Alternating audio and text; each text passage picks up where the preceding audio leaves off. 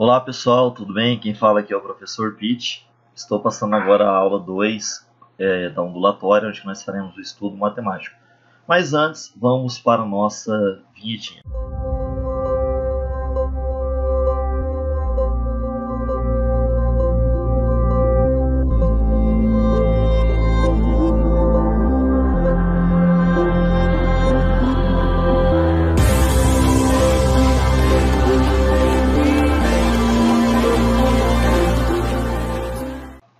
Então vamos iniciar aqui o nosso estudo matemático na ondulatória. Para iniciá-lo aqui, você primeiramente precisa saber identificar alguns elementos que são essenciais até para quando você se deparar com exercícios lá na frente. Então aqui primeiramente nós temos essa linha pontilhada aqui. Essa linha pontilhada aqui nessa, no total dessa figura, representa o ponto de equilíbrio da onda. Então, então em relação a esse ponto de equilíbrio, você tem aqui uma perturbação. Essa perturbação nesse formato aqui é chamada de onda transversal e nesse caso aqui senoidal, né? Então ela vibra na vertical e se propaga na horizontal. Então em relação à linha central, esse ponto que nós vamos chamar aqui, que tem uma, uma altura, é, a maior altura em relação a essa linha central, nós chamamos de crista. Esse ponto aqui que nós podemos chamar aqui, ele está no ponto mais baixo em relação à linha central, nós chamamos de vale. O ponto que se localiza exatamente sobre a linha central nós chamaremos de nó. A distância da linha central à crista, a distância da linha central ao vale, nós chamamos de A, que simboliza a amplitude. Aqui também nós temos ó, a, o primeiro característica que vai te ajudar lá na frente, que é o pulso. O pulso lembra que o, o, o morro lá do Pão de Açúcar, lá do Rio de Janeiro, onde que parece também o cupim, aqueles cupins que você encontra em pastos de invernado, até mesmo do boi, né? ou simplesmente aqueles chocolates que o pessoal vende por aí, que tem esse formato. Isso aqui não representa um pulso. Toda vez que você tiver distância entre dois nós e, é, e essa vibração aqui entre esses dois nós, isso aqui é denominado pulso.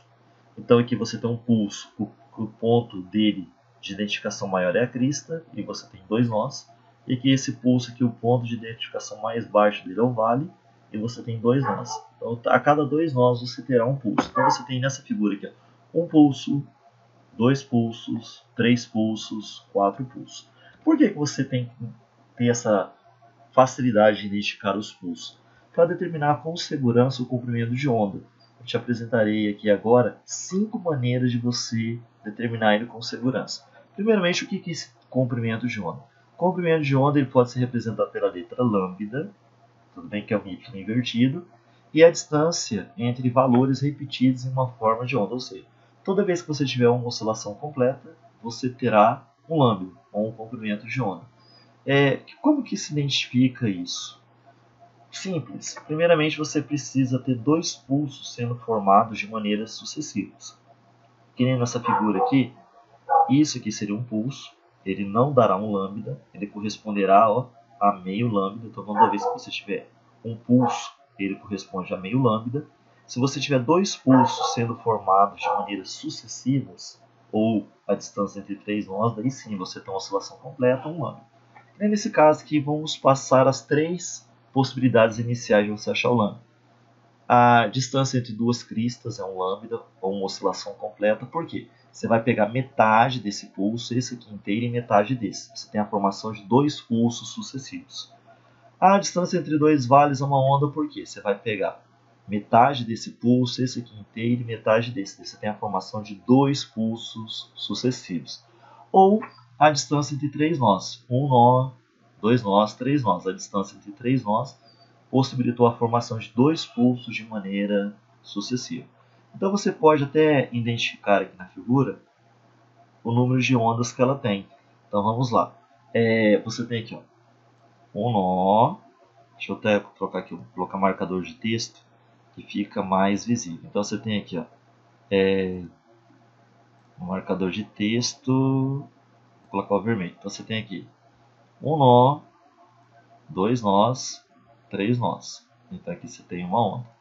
Então nós podemos contar quantas ondas tem na figura. O último nó da primeira onda é o primeiro nó da segunda. Então um nó, dois nós, três nós. Então aqui você tem mais uma onda. Aqui você vai ter o último nó da segunda onda o primeiro da terceira onda, então você vai ter um nó, dois nós, três nós. Então você tem nessa figura aqui, ó, uma onda, duas ondas, três ondas. Então, tá vendo? Ó, a oscilação se repetiu de maneira regular dentro do intervalo de tempo específico. Tudo bem? E esse que sobrou aqui, o que, que é isso aqui então? O que, que sobrou aqui? Esse pedacito aqui, ó, que sobrou aqui da onda. Isso aqui representa uma das maneiras de você identificar o tamanho da onda. Ele é meio pulso. Meio pulso corresponde a um quarto de onda. Então, para você ter uma onda analisando metade de pulso, você precisará de quatro metades, porque se ele é um quarto, então para você obter um lambda, basta você multiplicar o valor, que é tipo esse aqui, por 4. A distância entre dois nós, que corresponde a um pulso, corresponde a meia onda. Então você precisa de dois pulsos para obter uma onda e quatro meio pulsos para obter uma onda. Então são as cinco maneiras que você tem de determinar um lambda.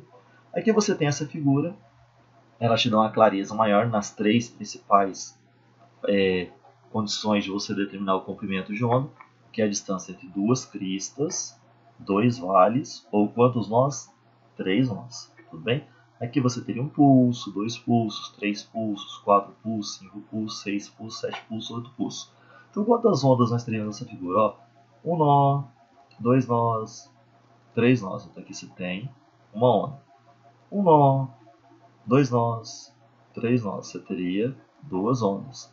Um nó, dois nós, três nós. Então você tem três ondas. Um nó, dois nós, três nós. Então você tem nessa figura aqui quatro ondas, quatro repetições que se, que se repetem, né, vamos dizer assim, é, no intervalo de tempo regular. O que, que seria esse intervalo de tempo regular? Então nós vamos entrar aqui nessa na parte chamada equação fundamental da ondulatória, onde nós precisamos entender esses dois caras aqui.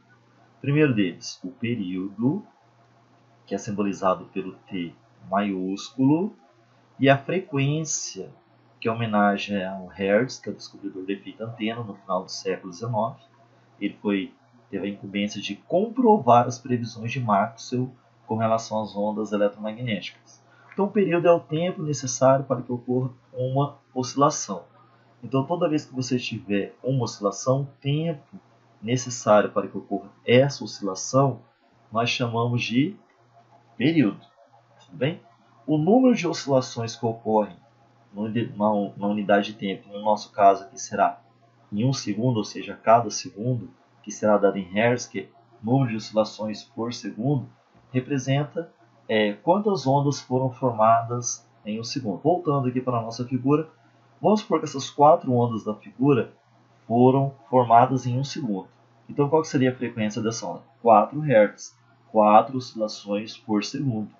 Então, é, daí nós temos aqui essa junção. Então, o período é o tempo necessário para que ocorra a formação de uma oscilação e a frequência é o número de oscilações que ocorrem a cada segundo. Daí a relação entre elas é o seguinte, o período é o inverso da frequência e a frequência será o inverso do período. Daqui nós teremos condições de determinar a, a equação fundamental do ondulatório.